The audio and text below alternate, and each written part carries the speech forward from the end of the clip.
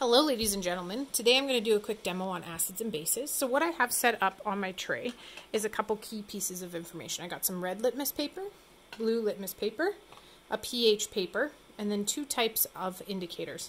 In my spot plates, um, unfortunately this one was not as clean as it should have been, I have about five different clear liquids, which you cannot see very well.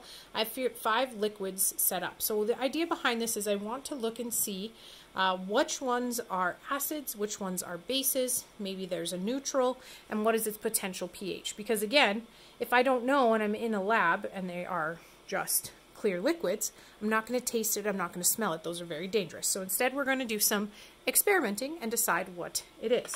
So what I'm going to do is I'm going to just take my litmus papers I'm going to dump them in and look for a change.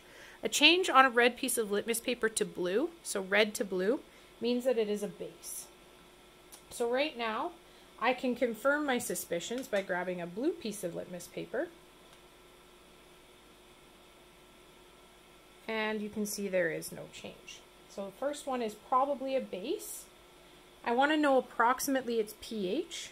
Is it a dangerous base? Is it close to neutral, what kind of base is it? So I'm going to grab a piece of this, and I'm going to dunk it in, and I'm going to try and match it as best as I possibly can. So we're looking here, you can see this, it's probably around a 12 to a 13 pH. So that's pretty basic. So it's pretty dangerous base. Good thing I didn't drink that one. Okay, you can also tell if something is a base if you use something like bromothymol blue. And if you add bromothymol blue in to a base, it won't change any color. Okay? If you add phenolphthalein into a base, it should turn a bright pink. So that is an example of one that would be a base. And now we're going to look at the rest and see if we can find acids and whatnot. So I'm going to grab another piece of litmus paper no change. So red stays red if it's an acid. So let's see what happens when I grab blue litmus paper. If I can grab any.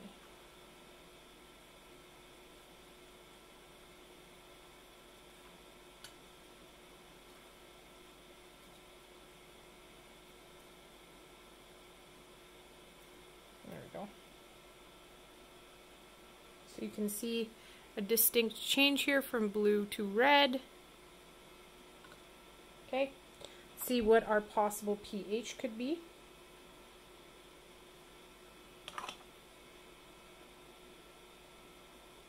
Dunk it in. Hopefully you can see it's turning quite a bright orange on the top. So it's looking like it's matching with a pH of 4. So we got a pretty strong acid here. In the presence of an acid, I'm not sure why phenolphthalein turned orange. It should have stayed clear.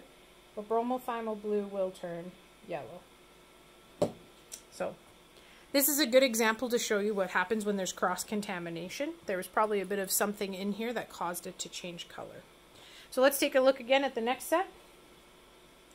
Dunk it in. Ooh, that went really blue very fast.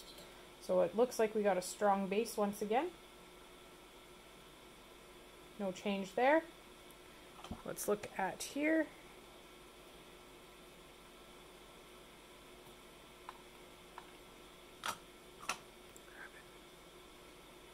Then wait for the color change. Um, we're looking closer to a 12, so another very strong base. So again, bromothymol blue should stay its blue color and phenolphthalein should turn pink in the presence of a base. All right, let's keep moving. Let's see what else we got here. So here I have, dunk it in, no change. Oops. So we're hoping that this beautiful one turns red, which you can see I got some on my thing, so it did. So there's my red from blue. So this is looking close to an acid. Let's find out what its actual pH is. Dunk it in. See, so we're going to go along and match it. Uh, looking like it's about a pH of 2. So that would be an example of another pretty strong acid. In the presence of phenolphthalein, it should stay clear. There's a better example. This one, like I said, showed cross-contamination. This is showing what's actually happening.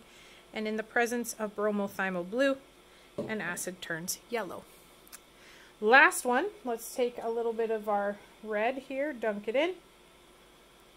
No change. Let's take a blue.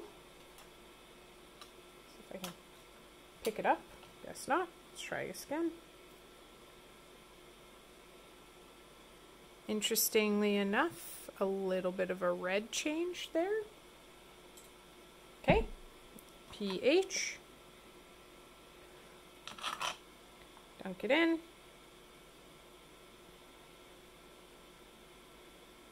Looking like a 6, so we're pretty close to neutral on that one. Neutral being 7. Let's see what happens when we use our indicator here. Nothing is happening with bromothymol blue.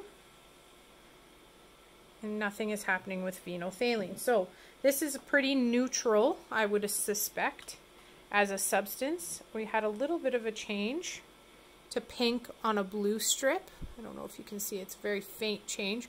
But the pH indicator indicated that it was close to neutral. It kind of fell between these two. So it's a pretty neutral substance. So ladies and gentlemen, that is acids and bases and how we can determine if something is extremely acidic or extremely basic. Uh, we have litmus paper, red for acid, blue for base, and then our bromothymol blue, blue to yellow in an acid, and phenolphthalein goes from clear to pink in a base.